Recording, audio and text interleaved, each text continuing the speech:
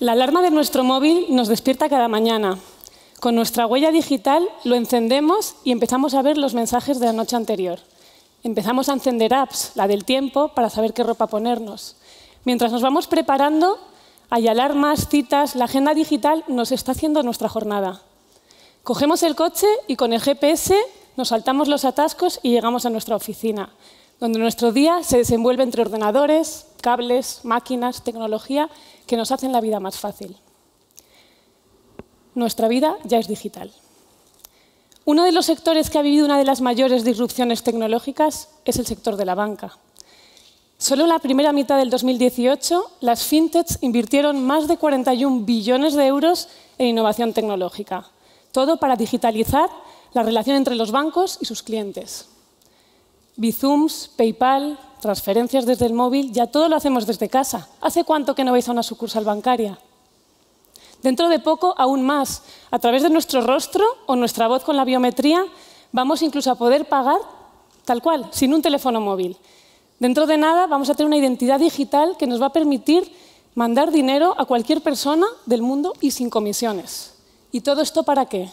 Pues para hacernos la vida más fácil a nosotros, a las personas más afortunadas. En 2009 conocí a Amrita. Amrita vivía en un slam debajo de un puente en Nueva Delhi, con sus padres, que eran alcohólicos. Por el día, Amrita mendigaba intentando conseguir unas pocas rupias para comprar comida y alcohol para sus padres. Con bastante esfuerzo conseguimos que sus padres la dejasen participar en un programa para 10 niñas cuyo objetivo era rehabilitarlas, sacarlas de la calle.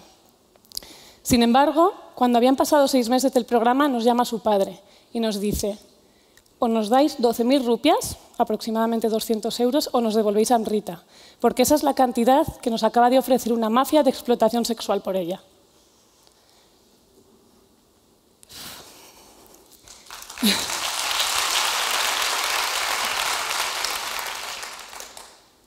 En ese momento, bueno, fue el primer gran dilema al que me enfrenté cuando llegué a India como cooperante dispuesta a cambiar el mundo.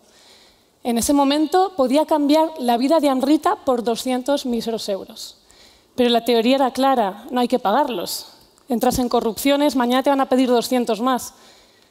El dinero de la ONG se nos acabaría en, en días. Pero claro, no pagándolos suponía que esta niña acabaría prostituida y que además los seis meses que llevábamos trabajando con ella no hubiesen servido de nada. Dinero tirado a la basura. ¿Qué dirían los donantes? Kuzbu era otra de las niñas de la casa de acogida. Tenía una mirada, una sonrisa tremendamente impactantes. Sin embargo, su cuerpo estaba quemado. Los niños de la calle son tremendamente vulnerables, tienen muchísimo miedo a los adultos y cuesta mucho conocer su identidad, conocer su pasado. Tardamos meses en hacer la rehabilitación psicosocial pero descubrimos por qué se había quemado. Se había prendido fuego a ella misma porque quería dar asco a los hombres, incluido su padre, que abusaban de ella sexualmente cada noche en las estaciones de tren. Diez niñas pasaron por el programa, diez historias reales, cada cual más impactante. Solo diez de los más de diez millones de niños y niñas que viven en las calles de India. Solo diez de los entre 100 y 150 millones de niños que hay en nuestro mundo hoy en la calle, que deambulan entre ciudades, entre estaciones, huyendo de mafias, huyendo de muchas veces sus propios padres. Millones de invisibles que intentan subsistir en la fortuna de esa invisibilidad para no caer en los infiernos de la esclavitud, de la mafia, de los abusos. Y no solo son invisibles porque no les veamos, son invisibles porque para la sociedad no existen. No hablamos solo de niños en situación de calle.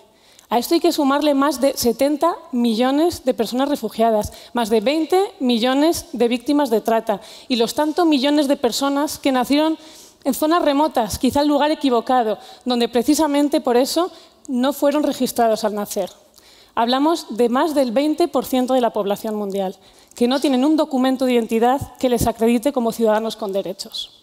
¿Os habéis planteado alguna vez que ese documento de identidad, ese papel plastificado que tiene vuestros datos de identidad, que tenéis todos vosotros en vuestras carteras, es lo que os hace visibles ante la sociedad? Imaginaros por unos segundos vuestra vida sin ese trozo de papel.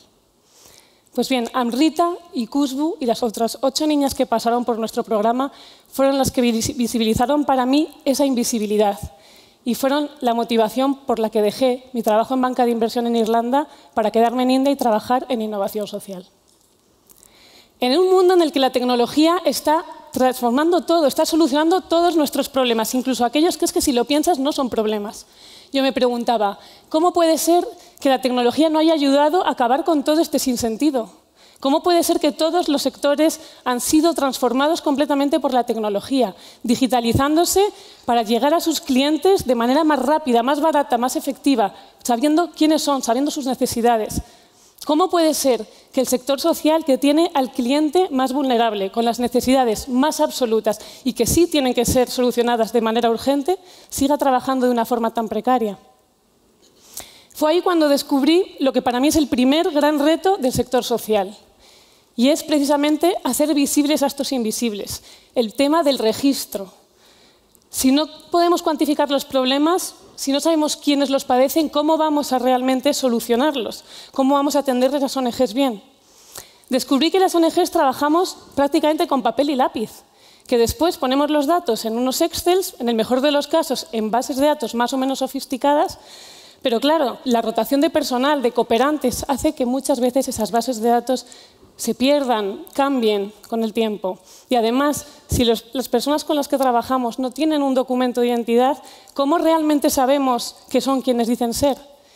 Si hoy viene una persona a recibir un servicio y mañana vuelve y dice llamarse de otra manera, probablemente volvamos a darle el servicio y además les registraremos una vez más me empecé a preguntar, ¿qué usábamos en banca para gestionar las identidades? La biometría.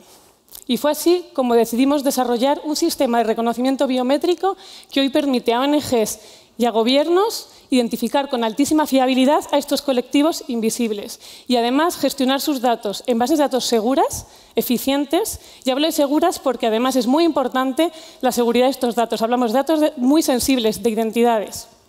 Los encriptamos y los subimos a la nube precisamente para eso. Con la biometría podemos registrar a millones de niños como Kuzbu, como, Amrita, que hoy están en Delhi, pero mañana tienen miedo, cogen un tren y estarán en Mumbai. Que hoy dicen llamarse Amrita, pero a lo mejor mañana al trabajador social de Mumbai le dicen que son Priyanka, por miedo, es lógico. Con esta tecnología podemos protegerles mejor. Podemos tener datos mucho más fiables y eficientes para tomar mejores decisiones. Y esto es lo que estamos haciendo precisamente ya en India, en una red de más de 80 ONGs que trabajan conectadas y que desde 2013 han identificado ya más de 300.000 niños. Estamos ahora escalando la solución también a países como Senegal y Sierra Leona, gracias al trabajo y colaboración con otras entidades. Pues bien, con biometría descubrí la solución al tema del registro en el sector.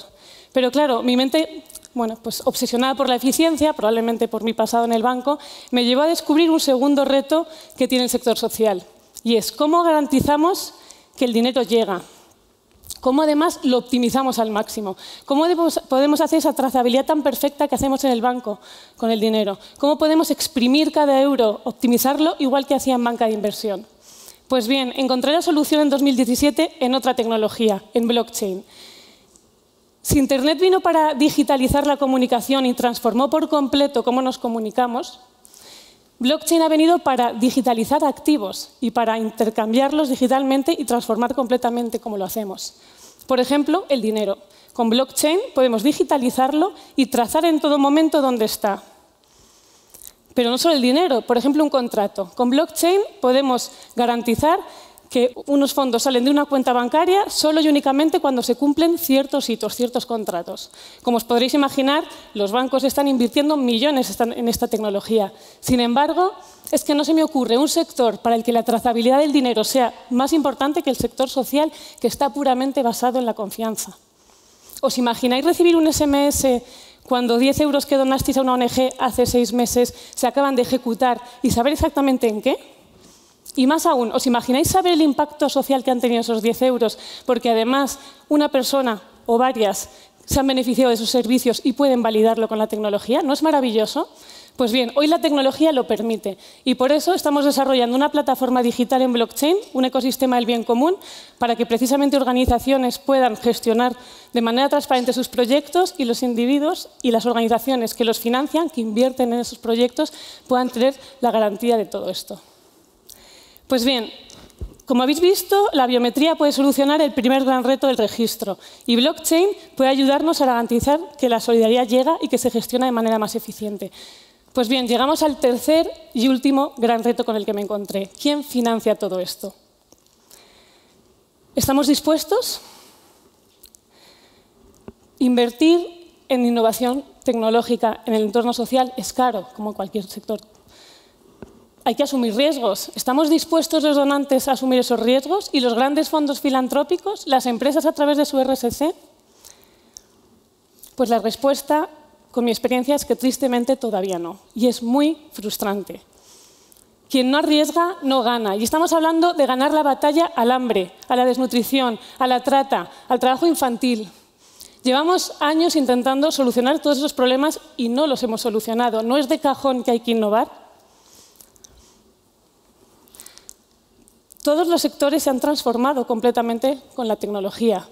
Sectores como la ciencia, en los bancos han conseguido grandísimos avances gracias a la tecnología.